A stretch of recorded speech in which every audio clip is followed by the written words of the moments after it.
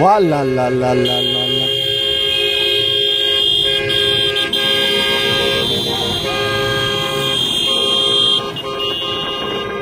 Nimerukiwa jamaa.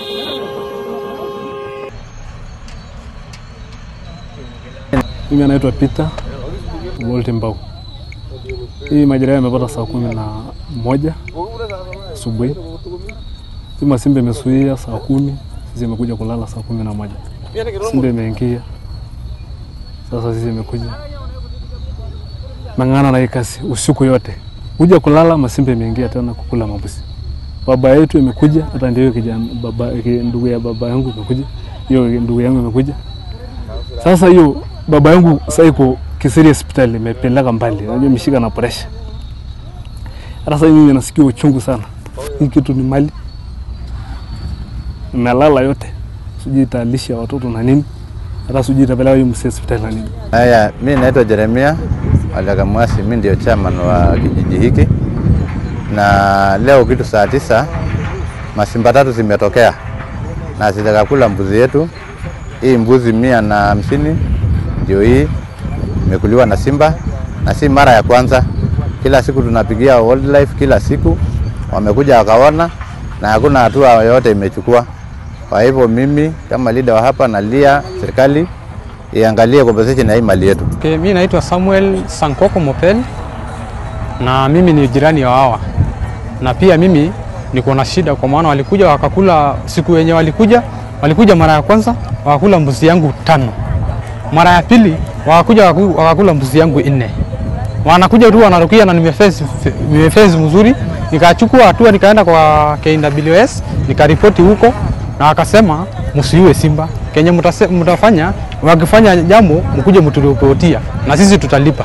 Saa hii hakuna kenye wamefanya, waliua jusi, wakati ingine ya, ya mzee mwingine pale Salasini, wakakuja tu kuona hivi, wanakuja tu wanapiga picha wanaenda hivyo, alafu wakati walikuja huku kwangu walikuja tu waka- wakapiga picha wakasema wataenda na watalipa, hakuna kitu wamefanya. Wakasema watafungia, hawajafungia.